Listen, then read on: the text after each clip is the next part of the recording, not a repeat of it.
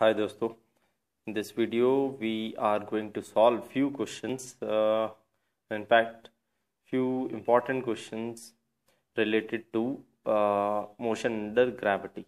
Okay? So let's start with the first one.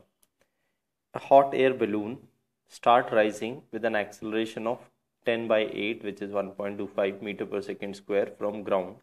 After 8 second of its start the stone is dropped from it and uh, we have to find height velocity and acceleration of the stone just before just after it is dropped. And uh, maximum height attained by the stone and the time total time to return to the ground. Okay let's say i should draw a diagram. Let's say this is ground. Okay this is ground. And uh,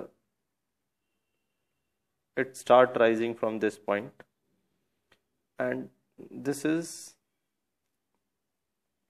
the first 8 seconds.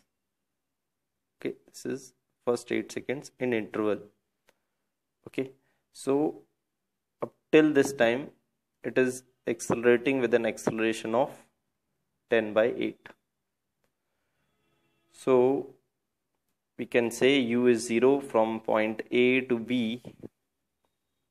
A to B की बात कर रहे हैं this is the solution A to B u is 0 acceleration is plus 10 point 10 by 8 and uh, this is the acceleration net acceleration of the hot air balloon okay so and time is time interval is 8 seconds so we can find what is displacement AB as ut plus half a t square half a t square u is 0 so it will be half into 10 by 8 into 8 square and that will be uh, 80 40 meters.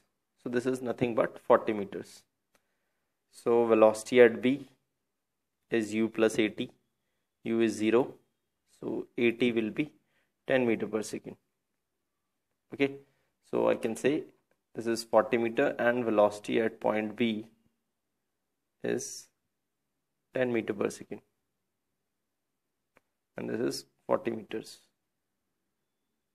Okay. So what about velocity just after it is released?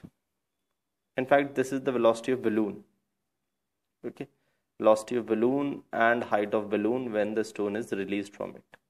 Okay so velocity of balloon is same as or we can say velocity of stone is same as velocity of balloon because they are moving together. So velocity of stone just after it is released just after release will be same as plus 10 meter per second the stone will move upward Again, a person from ground will appear that the stone is moving upward even after it is released. Okay, so it will move up, a bit up, and then it will stop at C. Then the returning motion will be C to A. Okay, so how much it will further move? We can say B to C acceleration of stone as it is in air will be g downwards with proper sign convention upward positive downward negative. We can say it will be minus 10 meter per second square. Initial velocity is velocity at b which is plus 10 and final velocity at maximum height v at c will be 0 obviously. Otherwise it will go further. So velocity at c is 0 we can say uh, for height for displacement v square equal to u square plus 2as we can get s as u square by 2a the minus sign. So it will be 10 square by 2 into 10 with the minus sign here and here also. So we'll get 5 meter. It will further move by 5 meter. So the maximum height from the ground will be 45 AC will be 45 and uh, the time total time it will take this is 8 second. And from B2 returning A again you should have watched uh, videos before this in which I can easily B to A via C. B to A via C I can say displacement is simply so displacement from B to A, no matter what the path is, is minus 40 meter. And uh, acceleration as the stone is in air, acceleration is minus 10. And uh, initial velocity, which is velocity at B, is plus 10. Using this and using S is equal to ut plus half at square, I can get S is equal to ut plus half at square as s is minus 40 u is plus 10t minus 5t square. On solving we can find the time as it will be 4 seconds. Okay. After b. So the total time.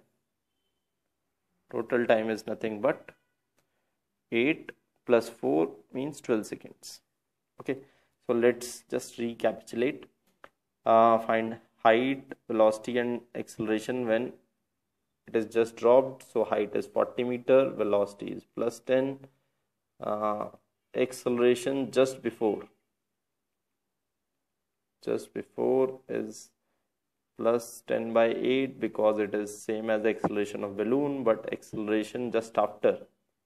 Acceleration just after is minus 10 as it is in air velocity and height will remain same.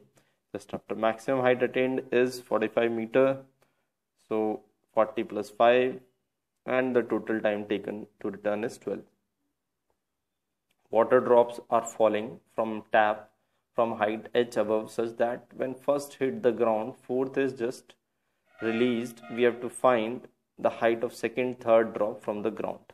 Okay? Let's make a ground and this is the tap okay. This is the fourth drop which is just about to fall and the first drop has reached here. So the second will be somewhere here third will be somewhere here. Second and third drops. If this distance is x the law of odd number says the next consecutive distance will be 3x and this will be 5x so we can say the total height the total height will be 5x plus 3x plus x. So that is nothing but h.